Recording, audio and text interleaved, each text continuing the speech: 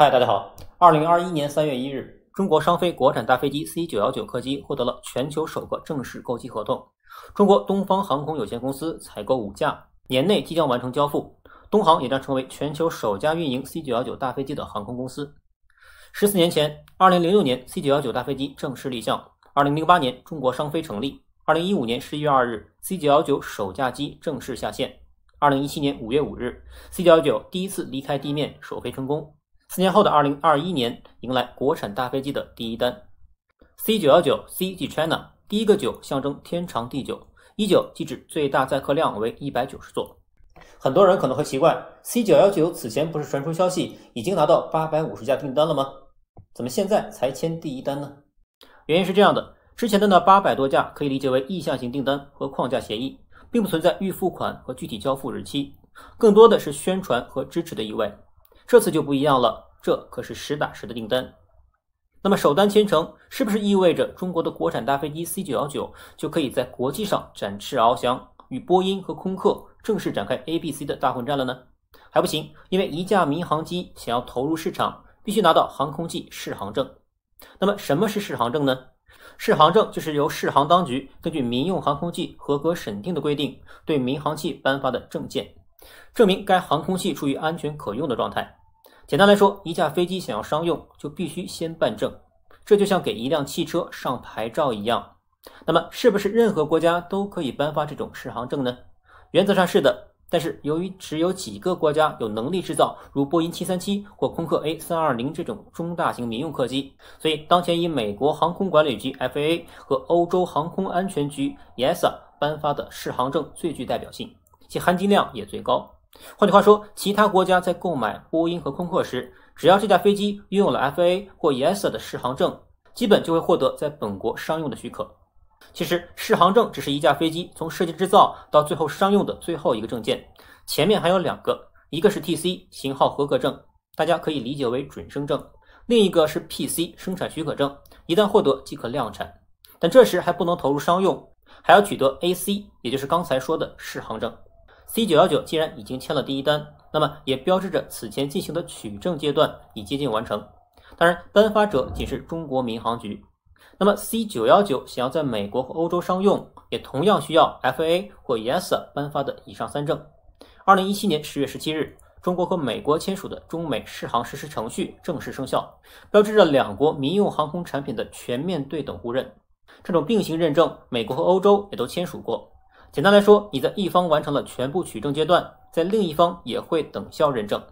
那么，也许很多人会奇怪，美国人疯了吗？竟然会跟中国签这种对等认证协议？难道不是应该逮到个机会卡中国脖子吗？这就要回到当时的背景之下了。就在这项协议签署生效的三个星期后，特朗普任内首次访问了北京，登门做客，手上还不得拿点伴手礼吗？而就在今年二月底前，网上传出了这样的消息：美国拒给 C 九幺九发适航证。但我在所有英文媒体中并没有找到这样的报道，看起来这个新闻并不靠谱，但也被大量网站和自媒体所引用。新闻虽然是个假消息，但的确不能排除美方不给的可能，因为按照中美适航实施程序，互认程序并不是自动的，还是需要向美方提供全部的认证资料。正常情况下，根据协议就是走个流程。但美方随便用个国家安全的理由毁约也并非不可能。但要知道的是，即便美国发了适航证，像 C 九幺九这种中短程双发载体民用客机是无法跨洋洲际飞行的。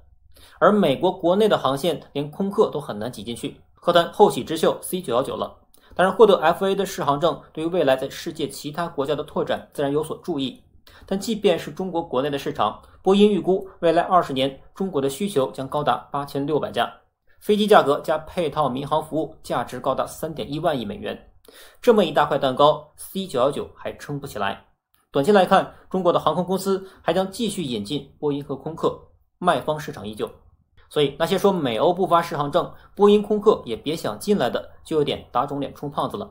暂时还真的没有摊牌的本钱。C 九幺九的当务之急是立足于国内，东航首签的这五架只是开始。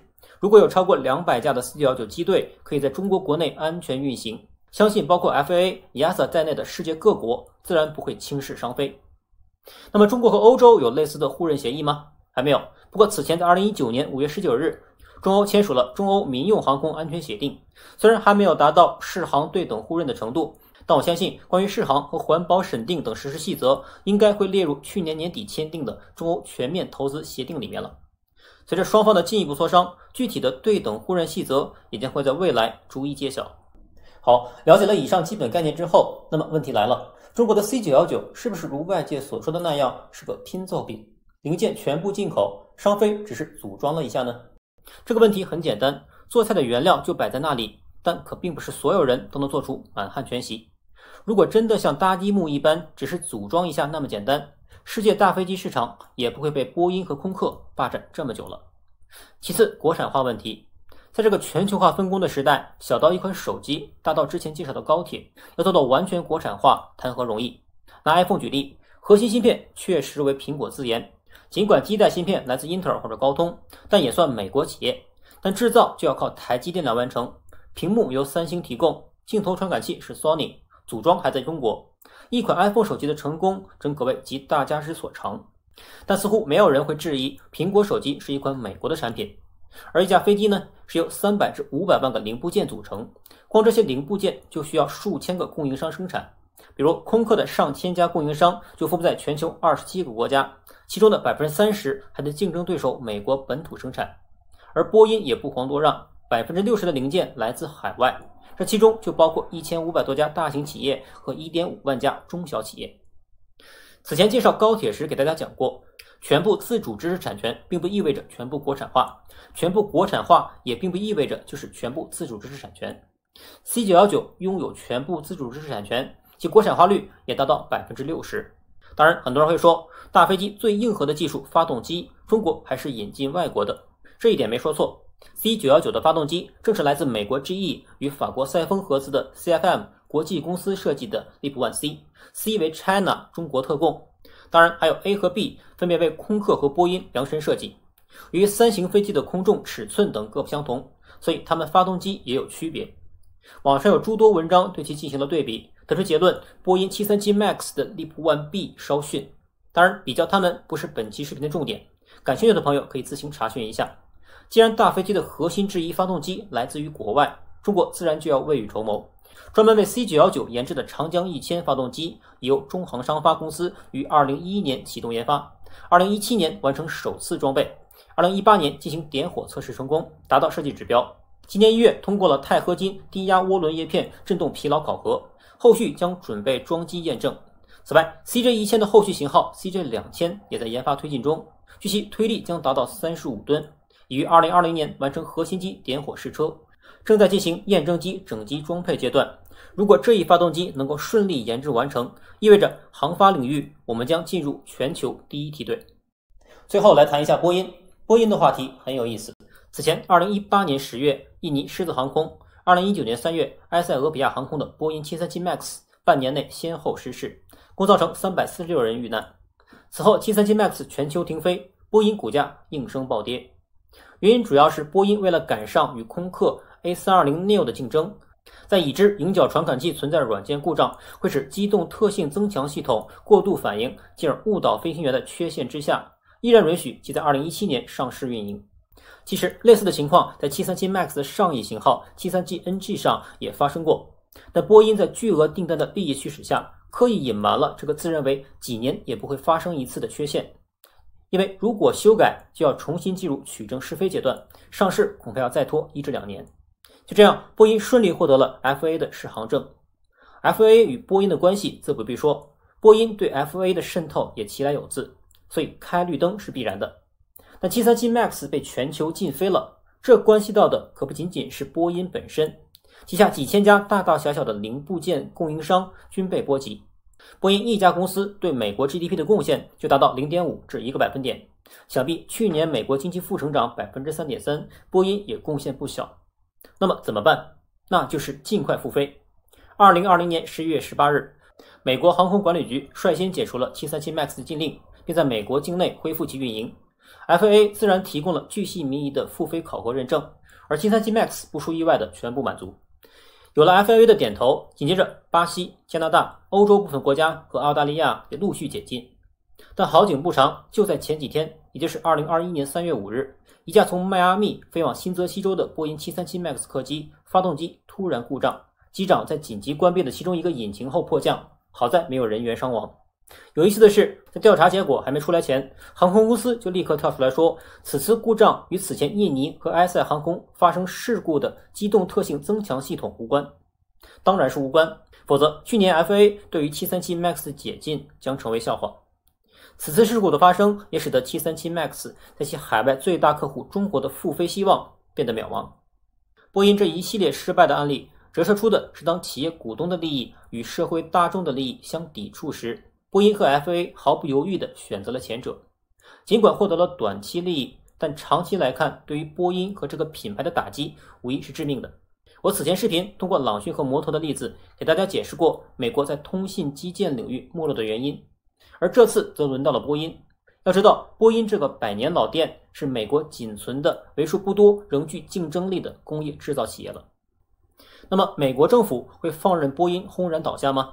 自然也不会。其实，此前美国的另一家老牌企业 GE 就发生过类似的情况。一切以利益至上的中子弹杰克韦尔奇掌舵 GE 的二十年，缔造出了 GE 金融。等到交给其继任者伊梅尔特时，纸面上的数字翻了几十倍。但 GE 已从一个注重技术革新者，转变为只关注短期利润的多元化企业。积重而难返，使得金融海啸一来，立刻支离破碎。于是，美国政府出手了。利用霸权长臂打击了 GE 的竞争对手西门子，并吞并了阿尔斯通。这个在此前孟晚舟的视频也有介绍。对于波音同样如此，美国政府将波音的竞争对手空客告上了 WTO，指控欧盟以各种形式向空客非法补贴。但可笑的是，美国自己却在不断对波音进行着类似的补贴，结果自然也就被欧盟告到了 WTO。而正当双方互撕之际，就在本月三月五日，也是波音复飞再次出事的同一天，美欧宣布休战，将暂停互相征收惩罚性关税四个月，停止了这项历经十七年的补贴之争。而在双方的联合声明中，则把矛头指向了中国。掌握全球霸权，这对一个国家来说所获得的利益将是无穷的，这也是美国对其霸权挑战者中国如此难以释怀的原因。所以，C 九幺九虽然获得了首单，算是起步了。但摆在面前的困难可想而知的巨大。你会发现，当今中国对于传统基建、高铁、航天、通信基站这种体现制造能力的领域，几乎都是国企发挥着主导作用。除了没有上市的华为之外，民营企业一个能占的都没有。如果一家企业以短期盈利为目标，就绝不会有今天的海思，也更加不会有现在的中国高铁。时至今日，中国高铁负债五万亿的新闻依然有人在炒作。那么，既然如此，我们就不造了吗？有些国家可能会，但中国绝不会。所以，综上所述，有了诸多美国公司，尤其是波音的案例，希望未来中国商飞能够引以为戒。好，那本期视频我们就录到这里，我们下期视频再见。